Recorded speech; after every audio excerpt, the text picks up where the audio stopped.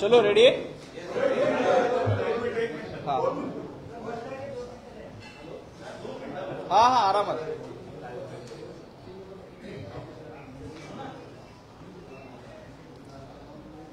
audio check one two three ready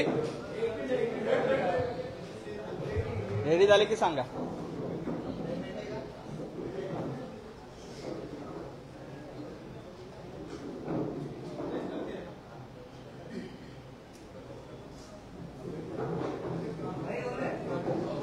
नमस्कार. भारतीय जनता पार्टीच्या प्रदेश कार्यालयामध्ये आपल्या सगळ्यांचं मनापासून स्वागत. आमचे नेते आदरणीय नेतेजी राणे यांची पत्रकार परिषद सुरू होते. आपल्या सर्व पत्रकार मित्रांचं मनापासून मी स्वागत करतो आणि आदरणीय नेतेजींना विनंती करतो की त्यांनी या पत्रकार परिषदेला संबोधित करावं. नमस्कार. काल केंद्र सरकारचं म्हणजे आदरणीय मोदी साहेबांच्या नेतृत्वाखाली असलेल्या एनडीए सरकारने आपला अर्थसंकल्प मांडला. आणि त्या अर्थसंकल्पाचं देशाच्या कानोकोपऱ्यातून कौतुक होत असताना शाळेतल्या वर्गातला सर्व सर्वात ढ विद्यार्थी जेव्हा अर्थसंकल्पावर आपला आपला ज्ञान देतो तेव्हा हसण्यापलीकडे काही वाटत नाही. आज सकाळी बोलत असताना संजय राजाराम राऊत हा त्याच्या स्वतःला आणि त्याच्या मालकाला बजेट किती कळला आणि ह्या बजेटमध्ये महाराष्ट्रावर कसं अन्याय झालं हे सांगणारा कोण आहे? तर अशा मालकाचा कामगार जो जाहीर कार्यक्रमामध्ये देशाच्या सगळ्या उद्योगपतींच्या समोर देशांच्या अर्थमंत्र्यांच्या समोर हे कबूल करतो की मला बजेटचं काहीच कळत नाही. मी ढ आहे. हे तो उद्धव ठाकरेंनी जाहीर कार्यक्रमामध्ये स्वीकारलेला आहे. बजेट आल्यानंतर कोणी त्यांना प्रतिक्रिया विचारलीच तर गरीबाला गरीब करणारा आणि श्रीमंताला श्रीमंत करणारा बजेट. असंच माझं उत्तर असतं. असं छाती ठोक पद्धतीने उद्धव ठाकरेंनी स्वतःच एका कार्यक्रमामध्ये सांगितलेलं. आणि म्हणून जेव्हा त्याच्या वर्गातला त्याचा कामगार किंवा त्याच्या कंपनीतला त्याचा कामगार जेव्हा अर्थसंकल्पामध्ये आम्हाला एवढं एवढं कळलं आणि महाराष्ट्राला एवढा अन्याय झाला महाराष्ट्रावर एवढा अन्याय झाला जेव्हा तो सांगतो तेव्हा खरंच त्याच्या आकलेची क्यू करण्यासारखी वाटते. काल आमचे आदरणीय देवेंद्र फडणवीस साहेब हे नेहमीप्रमाणे अर्थसंकल्प ऐकणं ऐकत असताना आणि मुद्दे नोंदवत असताना जर त्यांचा एक फोटो प्रकाशित झाला जे जर अर्थसंकल्प बजेट नंतर आपल्याला पाहायला मिळतो कारण का अर्थसंकल्प कसा मांडावा अर्थसंकल्पाचे छोट्यातले छोटे धागेदोरे काय असतात हे आदरणीय देवेंद्र फडणवीसजींना बरेपैकी समजतं. संजय राजाराम राऊतला सांगेन त्याचं म्हणणं होतं की आज तरी सकाळी टीका करत असताना बोललाय की देवेंद्र फडणवीसांना अर्थसंकल्प समजण्याची कुवत आणि समज आणि ताकद आहे का? त्या बावळट आणि ढ माणसाला मी सांगेन चल तुला मी आवाहन करतो. मी एक हॉल बुक करतो मुंबईतला कुठला तरी. तू आणि तुझा मालक बंटी आणि बबली दोघही या. आमचे देवेंद्र फडणवीस व्यासपीठावर बसतील तुमच्या बरोबर. आणि कालच्या झालेल्या बजेट आणि अर्थसंकल्पामध्ये तुम्हाला दोघांना काय कळलं हे तुम्ही मांडायचं. आणि बाजूने देवेंद्र फडणवीस साहेबांनी महाराष्ट्राला या अर्थसंकल्पामधून काय भेटलं हे त्यांनी मांडावं. तुझ्या डोंगणात ताकद असेल राजाराम राऊत राजाराम राऊतचा पुत्र असशील तर तर हा? तर आव्हान स्वीकार. हिंमत असेल तर. नाहीतर आम्हाला काय समजायचं तर आम्ही अजूनपर्यंत समजून गेलेलो आहे तुझ्याबद्दल आणि तुझ्या मालकाबद्दल. नवीन सांगण्याची काही गरज नाही. आदरणीय देवेंद्र फडणवीस साहेबांनी अर्थसंकल्पावर हे एक पुस्तक काढलेलं पुस्तक. आपण सगळ्या जणांनी वाचलं असेल. आजही आमच्याकडे हे पुस्तक आहे. ज्याला अर्थसंकल्प समजायचा आहे तरी हे पुस्तक वाचावं.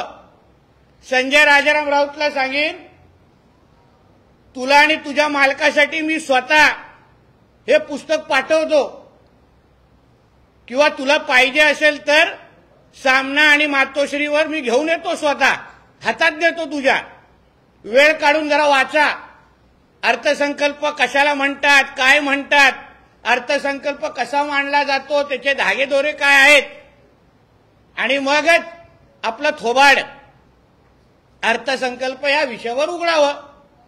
एक अजून एक विषय त्यांनी त्या पत्रकार परिषदेमध्ये मांडला की आदरणीय अमित शाह साहेबांच्या मनात हे फडणवीस साहेब नाही आहेत असा जावई शोध ह्यांनी काढलेला आहे. आता दुसऱ्यांच्या बारशावर जाऊन पेढे खाण्याची याला दुसरे जुनी सवय आहे काय नवीन नाही. दुसऱ्यांच्या घरामध्ये नाक टोचणं दुसऱ्यांच्या घरात काय चाललंय हे बघणं हे चांगलं माहिती आहे. त्याचं उत्तम उदाहरण ती डॉक्टर महिला आहे. आणि म्हणून आमच्या अमित शाह साहेबांच्या मनामध्ये काय आहे ह्याची चिंता करण्या अगोदर तुझा जो मालक मातोश्रीमध्ये बसतो त्याच्या मनात नेमकं मुख्यमंत्री म्हणजे को म्हणून म्हणून कोण आहे हे पहिलं समजून घ्या आणि विचार जरा त्याला. रश्मी ठाकरे आहेत की आदित्य ठाकरे आहे मुख्यमंत्री म्हणून? ह्याचं पहिलं उत्तर त्याला जाऊन विचार. आणि मग आमच्या नेत्यांच्या मनात काय आहे ह्याच्यामध्ये नाक टाकत बस. एवढंच त्या निमित्ताने सांगेन इथे मी अ, मनोज जरांगे पाटील यांनी आपलं उपस्थित स्थगित केलं आहे त्यांनी देवेंद्र फडणवीसांवर ही टीका केली आहे अटक वॉरंटचा डाव हा फडणवीस यांनी रचलेला आहे न्याय गृह विभाग फडणवीस यांच्याकडे आहे न्यायाधीश पण हे अ, फडणवीसांचे नातेवाईक आहेत राज्यामध्ये कोणी तो फसवणुकीचा गुन्हा आहे माझ्या माहितीप्रमाणे. फसवणूक कोणाची तरी कुठेतरी झालेली आहे.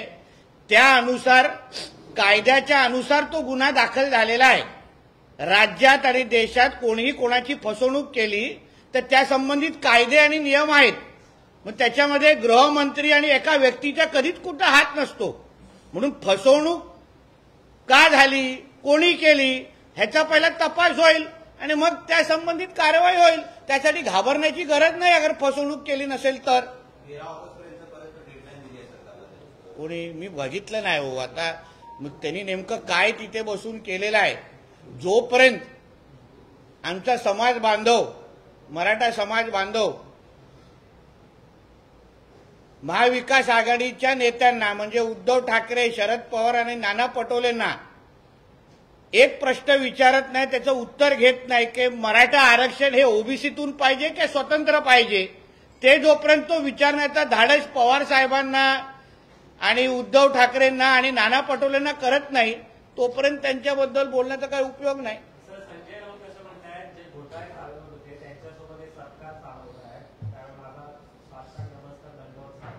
हे हो आणि ते जे काय अवतीभोवती ज्याच्यावर बसलेले आहेत ते काय रोज सत्यनारायणची पूजा घालायचे काय?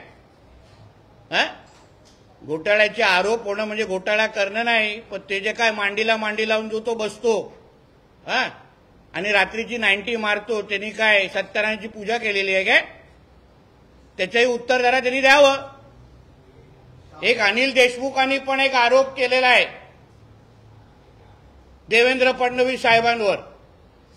परंतु आरोप नाही अनिल देशमुखांना सांगेन जो पण अधिकारी तुमच्यासमोर आला असेल त्यांनी तुम्हाला खरं बोलण्यासाठी सांगितलंय.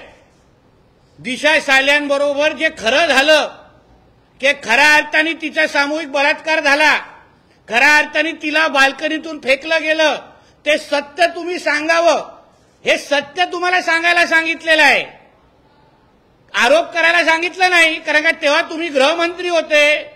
तेव्हा तुम्ही मुख्यमंत्रीच्या मुलाला लपवण्यासाठी दिवस रात्र तुम्ही लोकांनी एक केलेला आहे. म्हणून तुमच्याकडे असलेली जी खरी माहिती आहे तीच सांगण्यासाठी सांगितलेली आहे. वेगळं काही सांगायला सांगितलेलं नाही.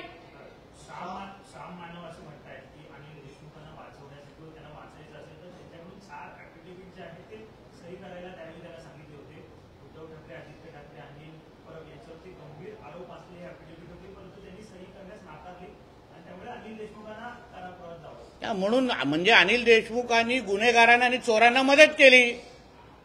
जी सत्य जी सत्य बाजू आहे सत्य बाजू आहे दिशा सालियान आणि सुशांत सिंग राजपूतच्या केसमध्ये. ते सत्य सांगायला सांगितलं. सांगा आदित्य ठाकरे जिथे सामूहिक बलात्कार झाला तिथे आदित्य ठाकरे होता का? आदित्य ठाकरेच्या जवळच्या निकटवर्य लोकांनी तिला बाल्कनीतून फेकलं का? आदित्य ठाकरे आणि दिशा सालियांचा मोबाईल टॉवर लोकेशन आठ तारीखला एकच होता का? हे सत्यच सांगायला सांगितलं ना. मग त्याच्यामध्ये आरोप कुठे झालेला आहे? त्याच्यामध्ये सनसनाटी काय आहे? आज मी बातम्या सनसनाटी अरे सनसनाटी काय? त्याला खरं सांगायला सांगितलं आणि देशमुखांना खरं सांगून टाका ना कशाला एवढं वाचवता? दिशा सालियान काय? तुमच्या घरातली मुलगी असती तर चाललं असतं का? असं लपवालपी केलं असतं का? हा प्रश्नाचं उत्तर जरी तरी द्यावं. तुम्ही एक जबाबदार नेते आहात महाराष्ट्राचे. तर खरं सांगण्याची हिंमत ठेवली पाहिजे. कुठेही देवेंद्र फडणवीस यांना कशाला आणता? संजय राऊत नीटच्या परीक्षेवरून म्हणतात की अं, न्यायालयाच्या पाठिंब्याने बेकायदेशीर सरकार महाराष्ट्र चालवत आहे यांना नीट संदर्भात काय त्याला नीट हा विषय कळलेला आहे का पहिला? पहिलं विचारा पहिलं. त्याच्या कुहुतीचा बाहेरचा विषय आहे. तो पहिला प्रश्न त्याला विचारा मग पुढचं उत्तर मी त्याला देतो. तुमच्या दिल्लीचे जे तुमचे पत्रकार मित्र आहेत त्यांना सांगा जरा. कुहुतीप्रमाणे संजय राजाराम राऊतला प्रश्न विचारायला सांगा ना. नीट. केंद्र सरकार जास्त आहे हो. भांडूपच्या पानपट्टीबद्दल विचारायला सांगा. उत्तर देईल तू.